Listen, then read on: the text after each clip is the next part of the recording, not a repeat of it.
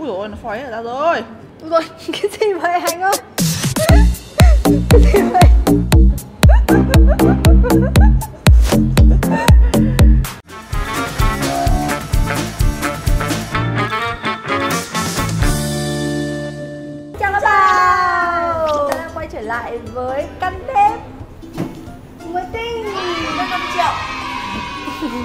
Nhưng hôm nay có vẻ như nó không Sau một có một tuần mà đã cảm thấy là nó không giống lắm rồi.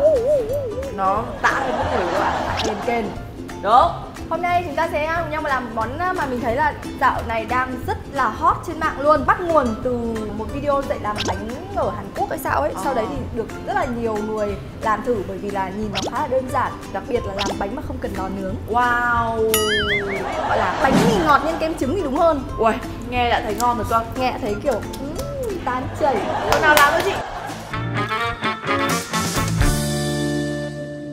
Những nguyên liệu của chúng ta hôm nay rất đơn giản. Hai loại bột à, bột mì số 13 và bột mì số 8 thì những cái bột mì mà số 11 đến số 13 ấy thì là những uh, loại bột để làm bánh mì. Sẽ có kết cấu uh, dai hơn ấy. Còn bột số 8 kiểu lại làm bánh bông lan bánh gato đúng rồi. Đấy. Thế phải trộn hai loại bột này trộn hai loại bột với nhau. Thế mình bắt đầu tò mò không biết là cái loại bánh nó sẽ thành ra cái kết cấu gì đây men nở và chúng ta có sữa tươi có whipping cream với những món làm bánh mà cho whipping cream vào nó sẽ rất ngậy. Và nếu mà thực ra là các bạn không tìm được thì cũng không sao. Nhưng cái này cũng dễ tìm Dễ mua tìm, mà. dễ tìm. Ờ, chúng ta có bơ bơ anco. một giỏ trứng đường và một chút muối nữa. Chúng ta cần một cái nồi nhỏ xinh và đun trên bếp. Chúng ta sẽ đổ sữa vào nồi. Thả vào đây một chút bơ nha các bạn. Để vào đây là kiểu gì nó cũng mềm ấy Ôi nó bắt đầu chảy rồi này. Không hay quá. Mình rất là thích nhìn lúc bơ chảy. Các bạn để lửa thật nhỏ thôi nhé Ôi nó vàng này chị. Ừ. Ui, Hóa ra là vào sữa nó vàng như này á. Đã sử dụng cái bơ Anco này thì cái bơ nó sẽ rất vàng hơn là những loại bơ khác. Và nếu mà nó vàng thì cái nhân bánh trong màu nó sẽ đẹp hơn á. Wow. Ok.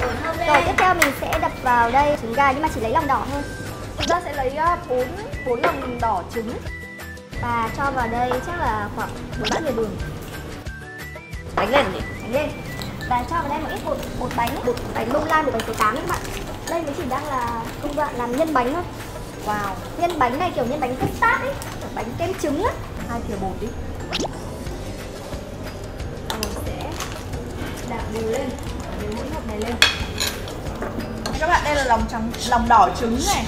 Bọn mình lấy ba cái ba cái ba. lòng đỏ trứng trộn với cả đường cộng với cả cái bột mà làm bánh. Của chị Yến bột số bao nhiêu chị? bột số 8 một bánh. Số 8 này và đảo đều lên. Ôi Tí nữa thì chúng ta sẽ cho cái hỗn hợp sữa vừa mới đun vào như vậy để cho nó nguội nguội một chút đã. Sẽ đổ vào và kèm theo một chút kem whipping cream nữa cho nó ngậy. Dậy quá. Bây giờ đổ thêm sữa nữa và đổ từ từ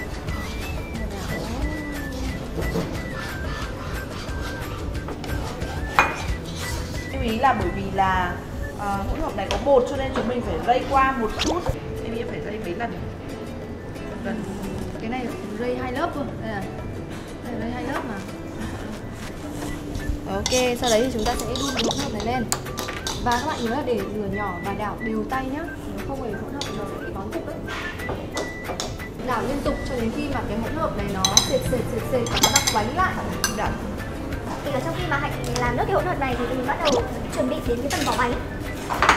Phần bột thì mình sẽ trộn bột bánh và bột mì vào với nhau trộn sẽ ra đây và trộn bột luôn mình sẽ đổ ra là 1 phần 3 gói gói bột mì và 1 phần 3 gói bột bánh.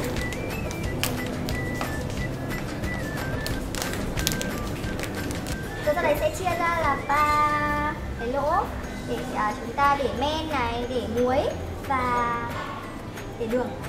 Một gói men nở này thì sẽ dùng cho khoảng 1 kg bột Ôi em thấy bắt đầu nó đặt, đặt ở cuối Ở đáy nồi rồi này nặng tay rồi đấy, nặng tay rồi. Nó chuẩn bị quánh không? Cho vào đây ờ, chút muối. Như là trộn xi măng xây nhà nhỉ? Đường thì ờ, cho 5 thìa đường. Mình sẽ trộn cái phần bột này lên. Ra là nếu như mà các bạn không có máy trộn bột thì các bạn có thể ờ, trộn luôn bằng tay cũng được. Nhưng mà nó hơi mất công và mất sức một chút Bây giờ mình sẽ tiến hành trộn bột nhé Ở trong phần bột này sau khi đã trộn hai loại bột với nhau này Kèm theo một chút muối, đường và men nở Thì mình sẽ đập vào đây ờ, ba quả trứng. Ba quả trứng và lấy cả lòng đỏ và lòng trắng này. Và uh, sữa. Sữa thì các bạn sẽ để cho nó ấm một chút Và kèm theo một chút nước nữa. Thì các bạn sẽ đổ sữa với nước vào như là cách các bạn uh, trộn bột ấy Làm sao cho vừa đủ là được. Bây giờ thì mình sẽ uh, bật, bật cái uh, bật cái máy lên và sẽ đi từ nước nhỏ đến nước to nhé còn nếu như mà các bạn không có máy trộn bột thì cứ thế mà trộn bằng tay thôi. Có chắc là sẽ mất khoảng 10 đến 15 phút cho việc nhào bột bằng tay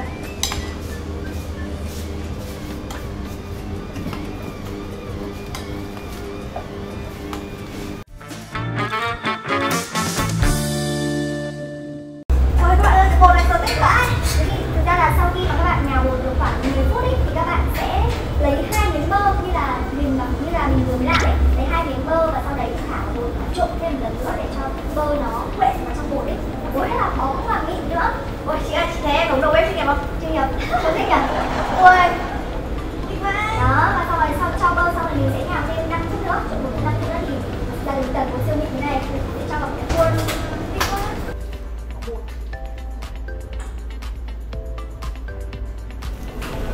Vì đó là cái hỗn hợp nhân vừa rồi thì mình đã làm xong và mình cho ra bát và để ở tủ lạnh các bạn ạ. Cái nhân đấy thì để bao lâu ạ? Ờ, để cứ để trong tủ lạnh và để nhớ là để cho ăn mát và nhớ là các bạn bọc nước mà mình chỉ bọc làm bọc thực phẩm ấy lên trên cái mặt kem đấy và để cho nó mát và một tiếng nữa sau khi mà bánh xong thì là kem cũng ngon cũng mát và bắt đầu lấy được rồi thì để tủ lạnh thì cái nhân cái nhân đấy nó sẽ kiểu cô đặc lại với nhau ấy Dính nó dính lại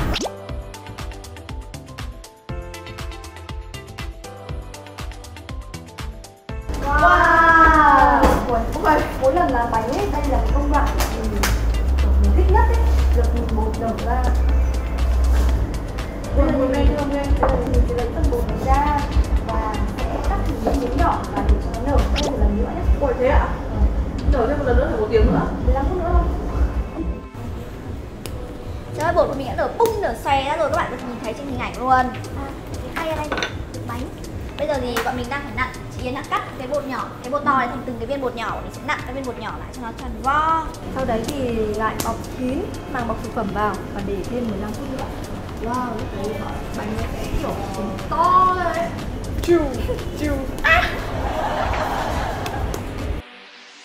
Ok, bây giờ mình hãy cùng đợi là sau 15 phút nữa nhá. Wow, sau 15 phút nữa thì bánh lại càng nở to hơn. Như là những À. cái bánh bao ấy Uh, con lợn con mình sẽ cán nhỏ ra đó sau khi mà cán mỏng cái lớp bánh này ra thì mình sẽ cho cái phần kem vào giữa. Đấy bát kem để trong tủ lạnh bây giờ nó đã kiểu rất là đặc và rồi mịn rồi mình sẽ cho vào đây. Mình thích ăn nhiều kem. Cho gập cái đôi cái này vào và dính cái đầu này vào với nhau để cho cái phần kem nó không chảy ra ngoài á các bạn. Ui như kiểu là một cái cục cục sầu riêng á. Sầu riêng quá. Mình cũng sẽ cho thật là nhiều kem. Wow, nhân kem. Cho ít nhân này vào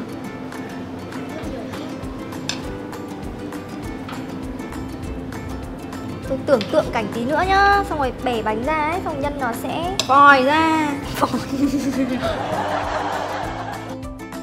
Đây chính là chiếc bánh của mình các bạn ơi. Chị ơi, chiếc bánh của em. Được. Không có tiền năng bánh mì đúng không? Vậy là kinh nghiệm là chúng mình không nên cán nó mỏng quá và nó to quá Mình chỉ cán vừa phải thôi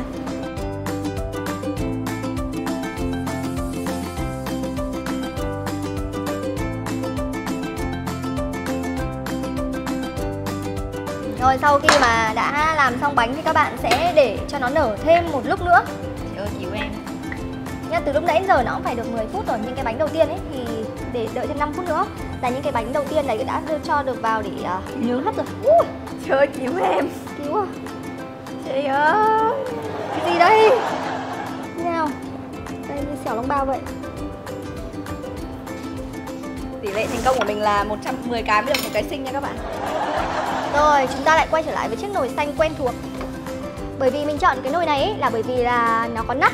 Các bạn hãy chọn một cái chảo nào ở nhà mình mà có nắp nhé Tại vì cái này thì ngoài việc là chúng ta áp chảo lên ờ, mặt chảo này thì nó- còn sẽ chín bằng hơi nữa Cho nên là bắt buộc phải có một cái ờ, nắp đậy. Nếu chị?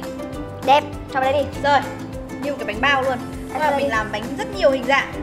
Mình sẽ cho từng cái vào những cái những cái làm đầu tiên thì mình sẽ cho vào trước rồi ok. Mình chỉ chỉ 5 cái thôi. Bây giờ các bạn sẽ vào sẽ vặn lửa thật nhỏ. Mình sẽ để nước một nước hai gì đó để vung lại. Nó sẽ làm chín bánh ở trong này. Và tí nữa chúng ta sẽ lật lại một mặt nữa là được. Còn những cái này thì cứ để cho nó nở thêm một lần nữa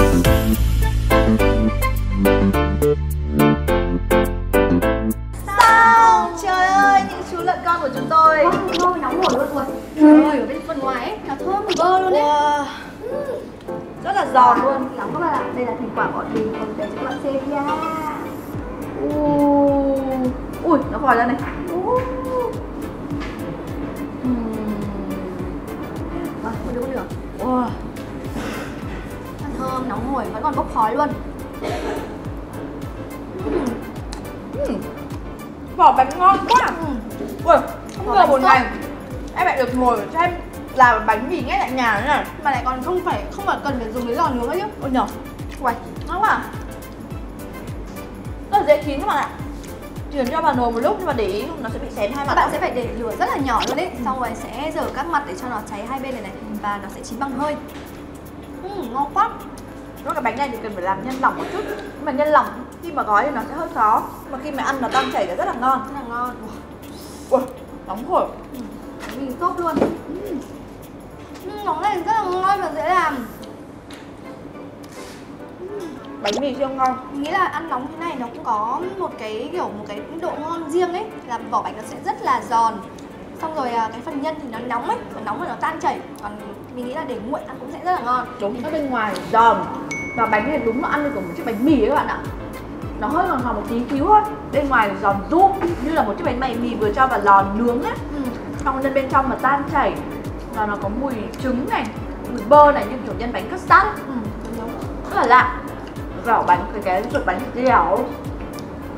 Không là mình nghĩ là nó sẽ nó không quá cầu kỳ Ừ. mà ai cũng có thể làm được nếu mà chỉ cần kiểu để ý một tí và bỏ ra một buổi Đúng. Bánh này ăn sáng sẽ rất là hợp đấy. Ôi chuẩn luôn. Đây chị ông nghiên cứu công thức làm bánh này bằng bánh mì đen. Bánh mì đen luôn. Thật là béo. Ngon. Rồi.